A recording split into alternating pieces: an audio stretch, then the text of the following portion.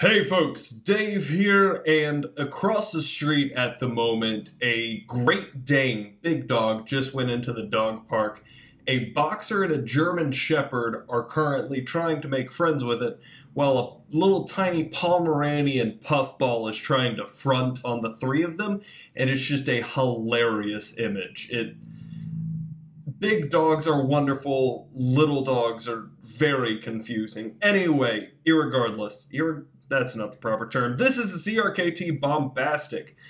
It's that company making that knife by that producer. Producer, designer, it's we're off to a weird start. This is how big it is. This is CRKT Bombastic being compared against the Ontario Rat number 1 and number 2. Bombastic against the Spyderco Endura and Delic Delica. My brain wanted to say dragonfly for some reason, but Delica. That's never happened before. The bombastic between the. This has been a weird day for me with words. Spyderco PM2 and the Para 3. And finally, the Benchmade Griptilian and Mini Grip. Now, of course, this thing looks weird. It is very unlike any other knife that I am familiar with, and some of those are for gold reasons, and some of them are for garbage reasons. And we now, today, in the next 15 minutes, are going to determine which is which. I'm doing a bunch of weird lead ins today for some reason, but the truth is that Bombastic is one, the truth is that Bombastic is another one of a CRKT trend of being great with names. Uh, the Outrage, I think, was the last CRKT that I did, and it had a great name, but didn't really fit the knife. This, being bombastic, I think fits the knife perfectly. And it's because the knife is just cool. There are very few other knives that look quite like this. It's got the guard, it's got the bolstering thing. I think it's just called a bolster. It's got the big old star pivot that looks like this very real and true World War II relic that we recently dug out of the ice. That's real life. That's a thing that happened, and the star there reminds me of it. It makes it look the the styling idea, what Ken Onion was going for, designed by Ken Onion, by the way. What Ken Onion was going for was kind of a World War II inspired knife. Yeah, you got the little boot knife, you got the little swedge, you got the big star, you got old timey bolster.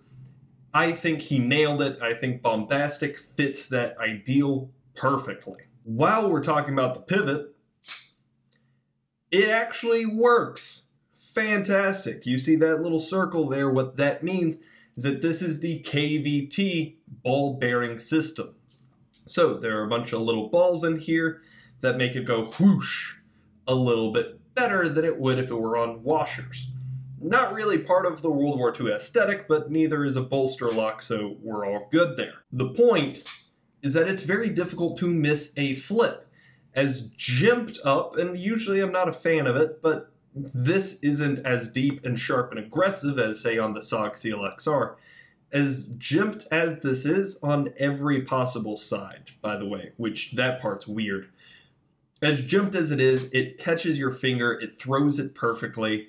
This really is a fairly fidgetable knife. And once open, this blade truly is beautiful. It looks like just a straight drop point, but it's got a little bit of a swedge up here. It's 90 degrees, so if this is for whatever reason your go-to hunting knife, you'll be able to throw sparks with it fairly well it comes right, right down to a beautiful tip. It's ground off center, but it's a budget CRKT, so that's what we're working with. A fairly thin blade stock, nice high flat grind. This blade is wonderfully done. That price, I've already referenced it. It's about $50, depending on where you look for it.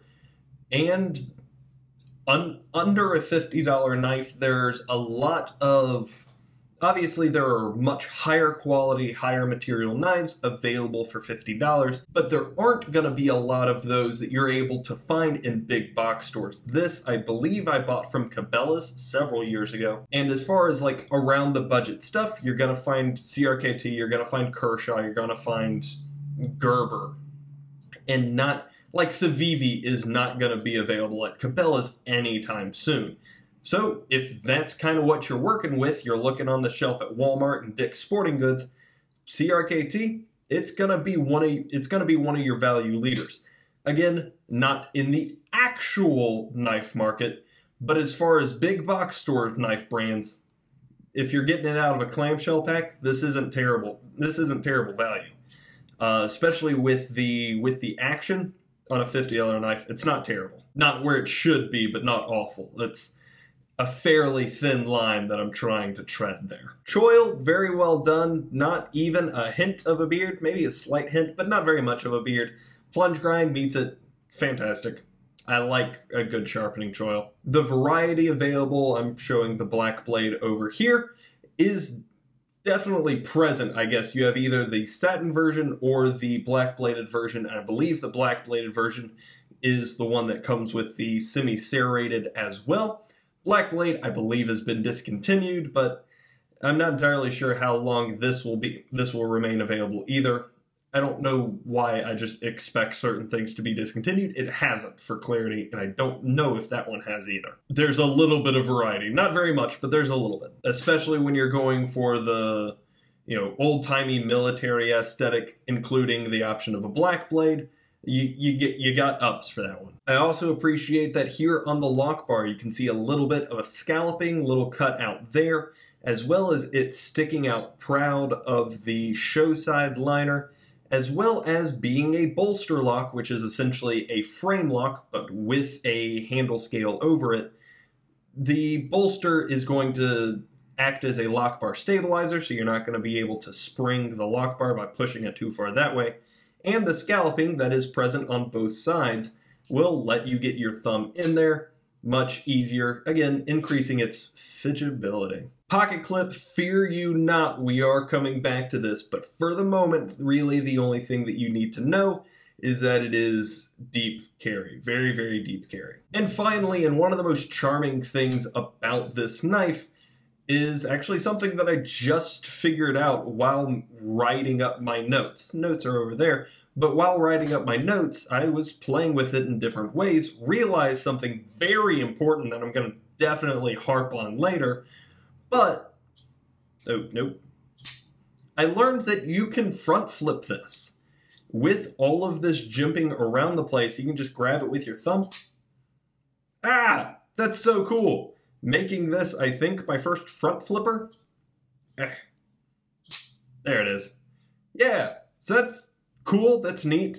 Uh, obviously, it works great as a flipper, and uh, there's a third option, and I am going to spend time on that. Blade action name price, there's been a lot of gold here, and generally speaking, I believe that the gold outweighs the garbage.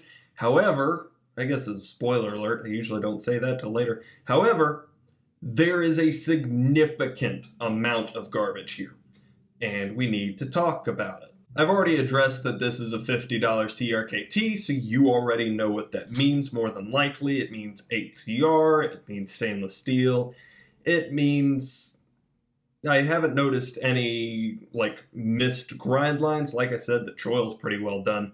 So QC does not seem to be an issue, but materials absolutely is. This is, again, one of those knives. Put, put this one in my Kershaw deadline list of this is this knife is the reason that CRKT needs to have a better quality brand. As far as CRKTs go, this thing is solid.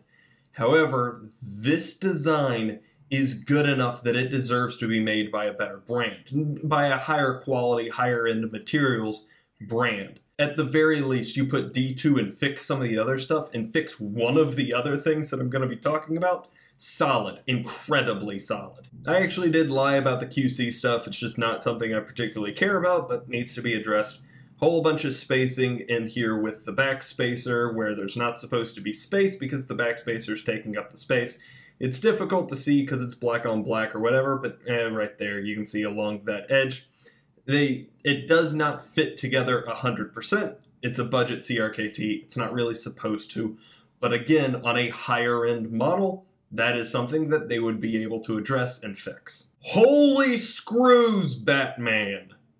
Why do you need six? Or four on that one, but why do you need six screws here? Like, two, maybe. Put one up there and one down here. The maximum would be four, but even that would be overkill and I would make fun of it. Why do you need six? And you can see the screws poking through in there.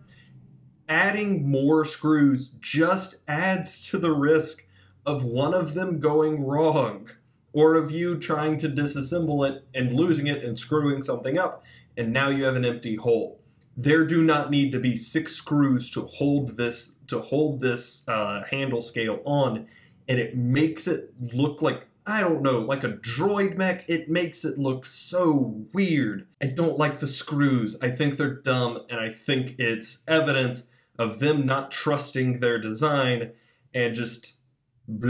In soccer, if you have six defenders on the back line, it's either because you're super up and are parking the bus, or you have zero faith in your goalkeeper. And this feels very much closer to the second. And finally, we come to the one that everybody knew that I was going to address, and that is this big old platypus bill right here. Spoonfisher? What's the bird? That bird. This pocket clip makes me think of that bird. It is obviously one position, tip down only, which is bad enough. CRKT and Budget Kershaws do that sometimes, and that's bad, that's ugly, Ugh, that's garbage. What is more garbage here is that you wasted a golden opportunity to give this thing an Emerson wave. Absolutely ridiculous. Absolutely. Oh, by the way, the screws are rounded and like big head rounded. So yeah, when you put your jeans in, that's going to be screwing with the uh, ability to put it all the way in. But that is straight up garbage. Now, there is an argument for CRKT not procuring the patent for the Emerson wave or the wave function, although so many other people do versions of it that I don't know. There's gotta there's gotta be a way that CRKT can just do their own. But in any case, it's possible that they could not obtain the obtain the patent for that, and so they put in clear ability to do so, and I don't know, we'll let the end users mod it in. But in that case, why is this the pocket clip that we went with? Because were that the case, and CRKT wanted to give customers the ability to wave it themselves, then these screws would have needed to be much closer together so that they could be bolted on down here. That's not the case. I hope I've explained my idea and what I'm frustrated about well enough because I'm very frustrated by it. And the worst part is that this wave super, super works. Video of me using it. It's awesome. You pull it out of your pants. The Emerson wave is my, the wave in general, under whatever brand it runs, is my very, very favorite opening mechanism. I believe that the Emerson wave provides the absolute best ability to open your knife in a timely manner. So seeing the ability for one here, seeing them come so very close to waving this thing, which I don't think CRKT has done. Please correct me if I'm wrong, but I do not believe, please, please, please correct me if I'm wrong, but I do not believe that CRKT has a waveable model. This could have been the first one. This, in all its beautiful glory, could have been the first one, but instead they decided to go with this pocket clip. This knife is the most confusing thing in the world because it's legitimately it is legitimately good. I believe that it is well made. I am glad CRKT has produced this. However, the biggest swing that CRKT could have taken to win my heart, and they doubled down on bunting. It's a great pocket clip. Give it flathead screws, flip it around, and this becomes one of my favorite knives ever. This, uh, this, bec- this knife, you flip the pocket clip, and this knife becomes the reason that I love and defend CRKT.